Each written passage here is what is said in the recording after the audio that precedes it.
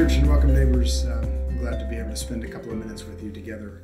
Um, and happy Mother's Day to um, all the moms out there.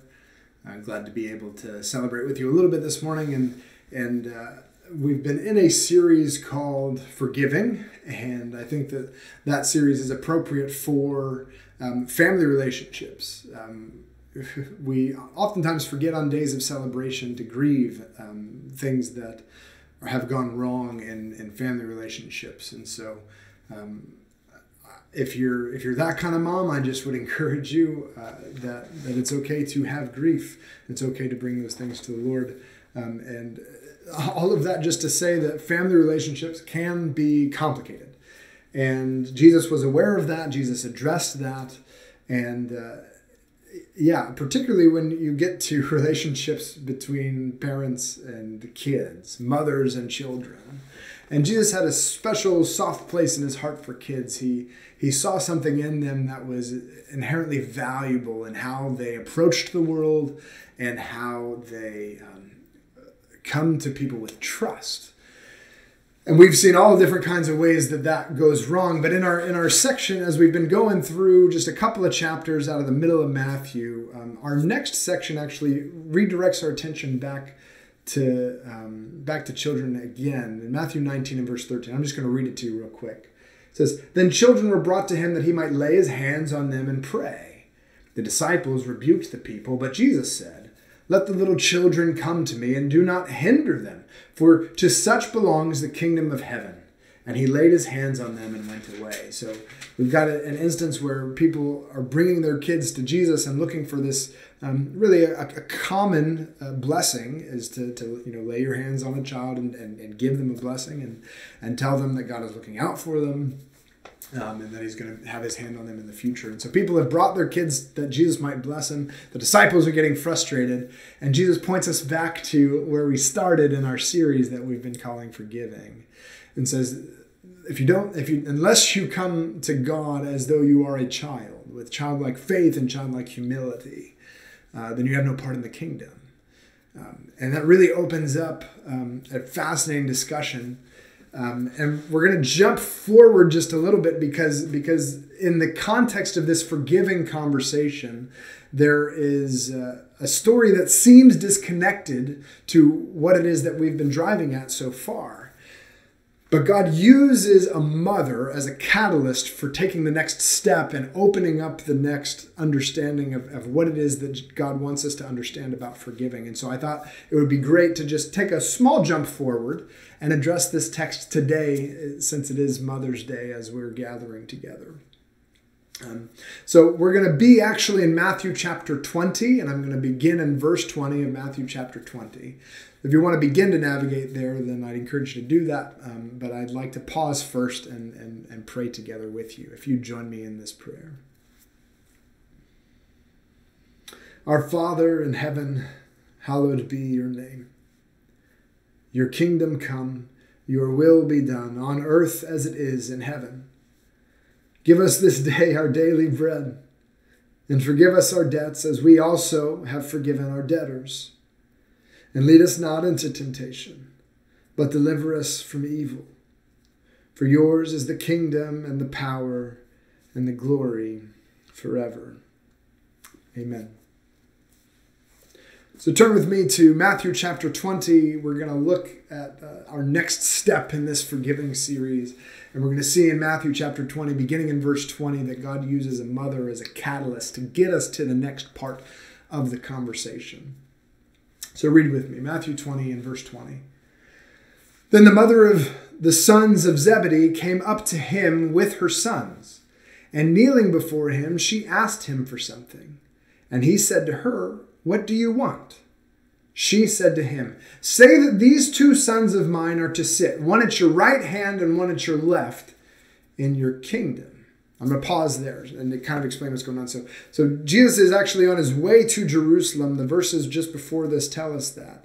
And as he's going, he's talking with the disciples and teaching his disciples. And it seems like maybe they're going through a, a hometown, or at least they're close to the sons of Zebedee's house, James and John. They have left their father's business um, being fishermen and they follow Jesus and they're, they're close enough to, to the hometown that, that James and John's mom comes up and approaches Jesus. She comes with humility and she has a question for him. And Jesus looks at her, he listens to her heart and says, What is it that you want?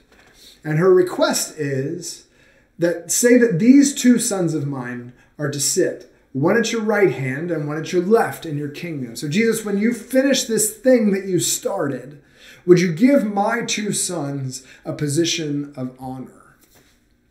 And I've heard different discussions try to try to say that she was doing a good thing or that she was doing a bad thing and i don't think it's really helpful to pass judgment on whether or not her request was appropriate but i'm thankful that at the very least she comes to jesus with an honest question an honest concern and maybe it's a concern that we might recognize either from our own mothering or from being a mother.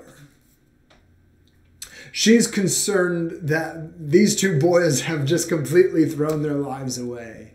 And she wants to do what she can to help to set them up to have a good life they were part of a, a, family business. They were partners in their father's business. They were fishermen on the Sea of Galilee.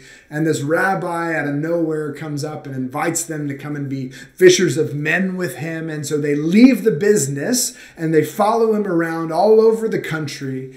And, and, and mom is now close enough to say, hey, hey, hey, okay rabbi you're supposed to be becoming somebody when when you when you hit the big time Will you give my boys a position of honor? Give them not just a position of honor, but the two best positions of honor the seat of, uh, on the right hand and on the left, advisory positions when you come into your kingdom.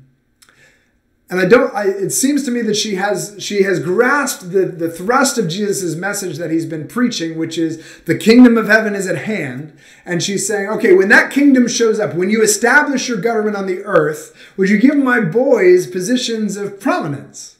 Would you look out for them, and would you would you would you um, nominate them to be rulers in this kingdom that you're setting up?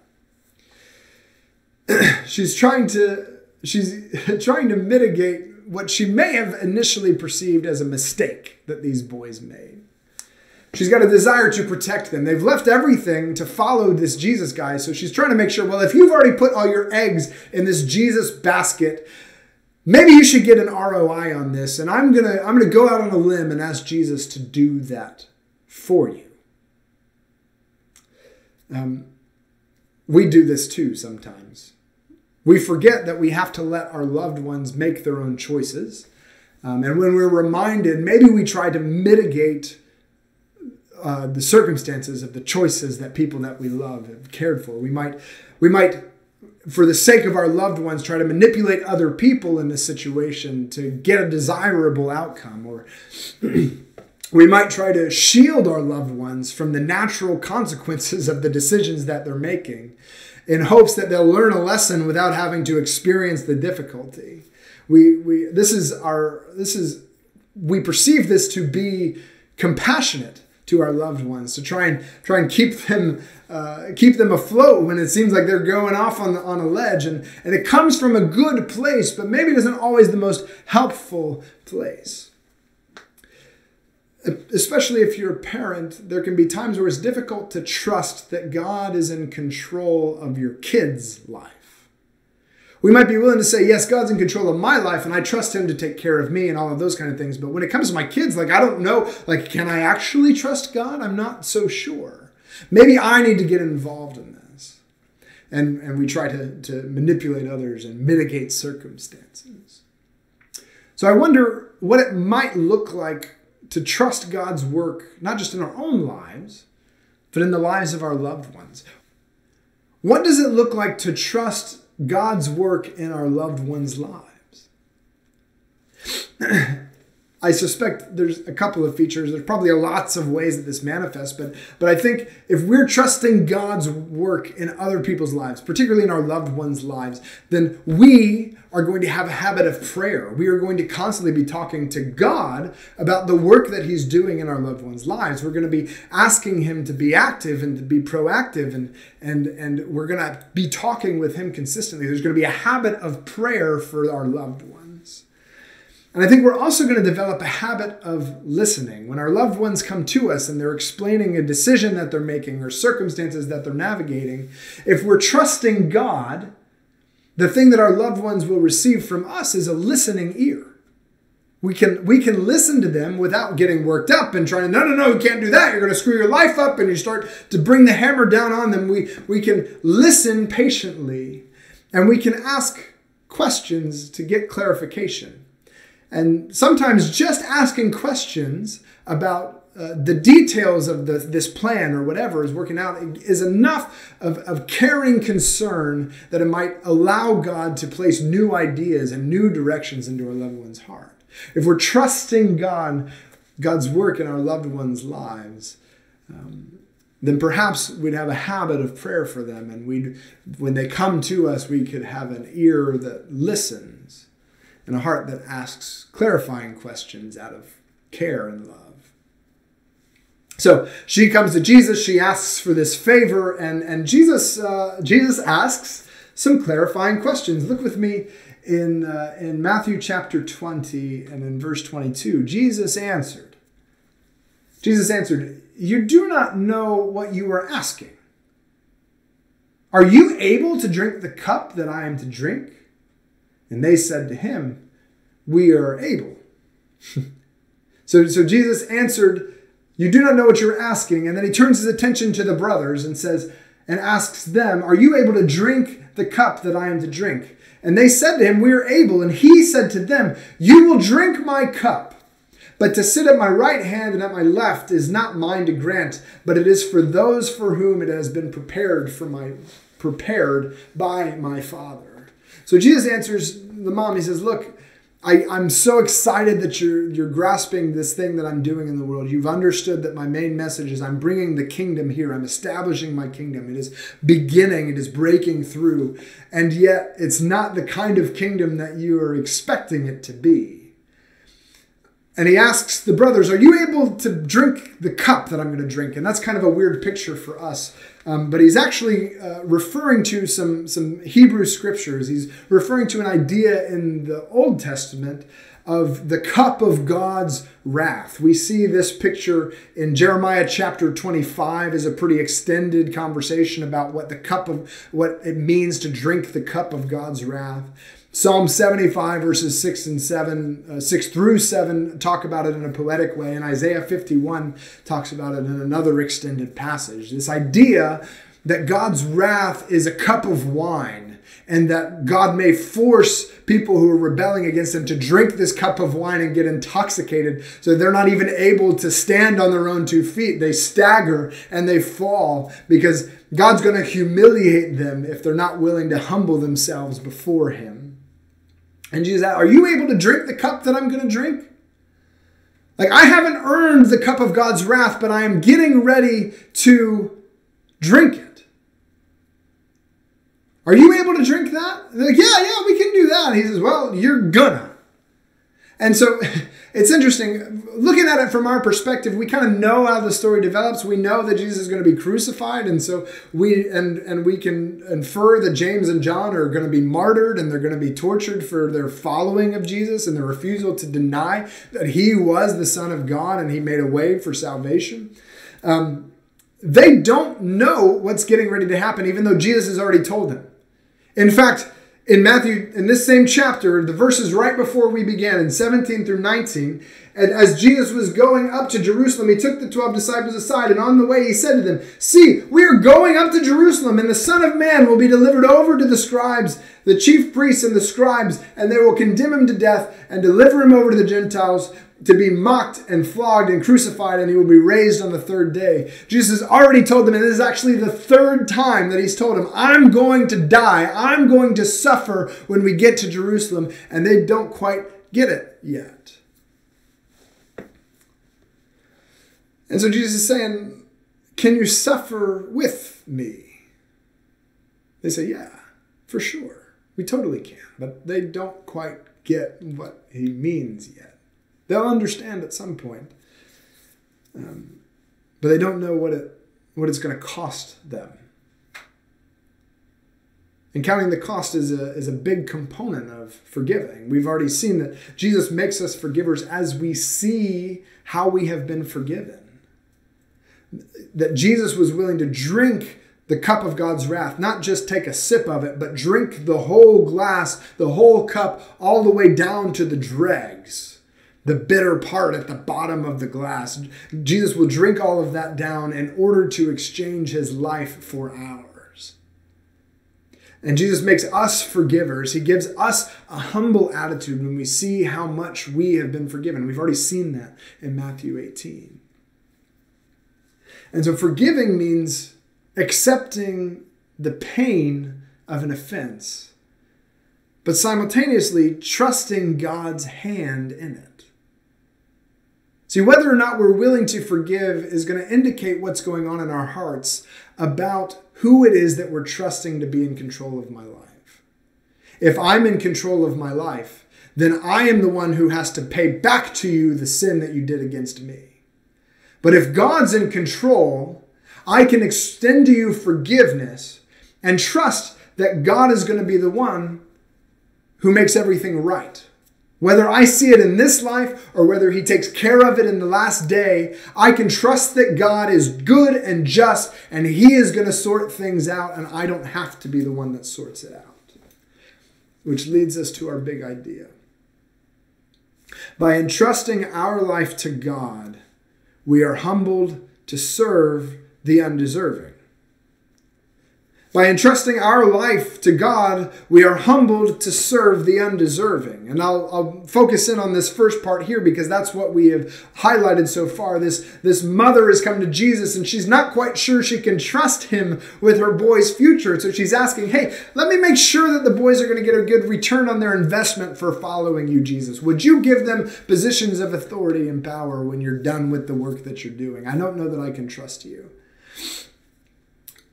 But by entrusting our life to God, He's going to do things that shape our heart. He's going to change our heart. When we turn our lives over to Him, things are going to be different for us. When He gives us His life, our life is reshaped. So, are, what are we hesitating to trust God to handle? What are we hesitating to trust God to handle? The first thing is have we entrusted our life to God? Have we said, okay, God, like I've been going through this and, and I've been going through and going through and trying to live my life and be a good person the best that I can. But every time I come to your word, I realize, man, I'm not a good person. And, and if it's not just about doing the right thing, but having the right attitude, then I keep falling short. And I don't know how that I can be a good enough person to get on your good side. So I just give you my whole life. I'm entrusting my life to you, God. Do with it what you will. Save me in spite of myself. What are we hesitating to trust God to handle? It might be relationships. It could be parental relationships. It could be hurt from the past, people who have hurt us and, and seems like they got away with it. Can we trust God, that God is at work in other people's lives and can we forgive them for the hurt they've done to us because God is the one who's in control? Or are we hesitating to trust God to handle a worldwide pandemic? Or are we hesitating to trust God to handle politicized responses to a worldwide pandemic? Can we trust that God is in control? And can we serve Him quietly and faithfully with our part that He's asked us to handle? By entrusting our life to God, we are humbled to serve the undeserving. Michael, what are you, what are you getting that from? Actually, I'm getting it from where Jesus takes this conversation next. Look with me in Matthew chapter 20. Again, and I'm going to read in verse 24 to the rest of this passage. so they've had Jesus had this conversation with James and John and their mom. And in verse 24, and when the ten heard it, the other the ten other disciples, the ten other apostles, when the ten heard it, they were indignant at the two brothers.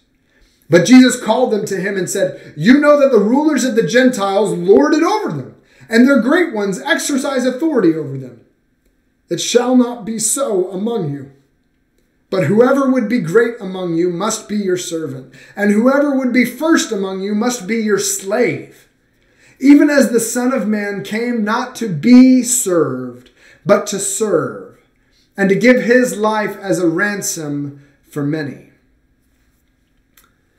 So the other disciples hear what's going on in this conversation and they're angry. And maybe they're thinking, why didn't I think to ask that? Or maybe they're thinking, I can't believe those two mommy's boys are like sucking up to Jesus, letting their mom suck up to Jesus so that they can get a better position. But they're angry. And Jesus says, Look, you guys are vying for position. You guys are trying to shore things up for when all of this is over, but you've misunderstood what my kingdom is built on. My kingdom is built on humility. And forgiving begins with humility. He said he says there's a small there's a small change in English the words here but they're all in every English translation you'll see that there's a, a Greek word change here. He says, It shall not be so among you in verse 26. Whoever would be great among you must be your servant, and whoever must, would be first among you must be your slave. So, servant and slave, he's actually using two different vocabulary words. A servant is, is a voluntary career. This is somebody who's choose, chosen to move into somebody's house and to become their servant. A slave is, is, is an involuntary consequence of bad choices. Often people would be made slaves when um, an invading army, an invaded Roman army took over and, and the people would be brought back as a slave. They didn't get a choice. They were just put into slavery and they had to serve. Or maybe if a person got into deep enough debt, their debt, the person that they owed a debt to, would sell them into slavery and they would be a slave. So the, Jesus takes the two lowest rungs, two of the lowest rungs in Jewish society, as, as like the people that do not have it together and the people who are really scraping the bottom of the barrel. He says, This is who you need to use your model to live by. You think you're going to be the greatest, you're going to vie for position, you're going to be the greatest by lording each other's authority over you, but you've misunderstood. The servants, the people who have chosen a voluntary career of serving other people, they are the ones who are great. And the slaves, the one who have these involuntary consequences to their actions, they are the ones who I'm going to hold up as, as examples for you. Because the Son of Man, the most human one of all, came not to be served, but to serve, and to give his life as a ransom for many. The Son of Man, God in the flesh, came down not on a royal litter being carried by his servants, not in a carriage being drawn by horses, not to be given honor. The Son of Man didn't come to be served, he came to serve. He came to be the one carrying somebody else on a litter. He came to be the horse drawing the carriage. The ones who would get no attention. That's the one who Jesus came to model his life after. And by entrusting our life to God, we are humbled to serve the undeserving. Jesus is not the way and the truth to the best life now. He set the example of serving and suffering for us to follow. And 1 Peter chapter 4 verses 1 through 11 makes that absolutely explicit. Jesus is not the way and the truth to the best life now. He set the example of serving and suffering for us to follow. And he exchanged his life for ours. The Son of Man came instead of us. Came to suffer what we would suffer instead of us. He came to be the opposite of what he earned for himself. He came to be a ransom for many. And that's the example that he leaves for us.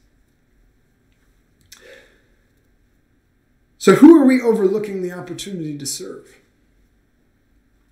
Could be our family and friends. And right now, you might have way more of your family and friends than you really are comfortable with. The people closest to you can be the easiest to overlook in how you serve them and how you love them. And I think moms are a great example, oftentimes, of serving selflessly and thanklessly, and which is one of the reasons why culturally we've taken this day to celebrate their work. Maybe it's our neighbors that we're neglecting the opportunity to serve.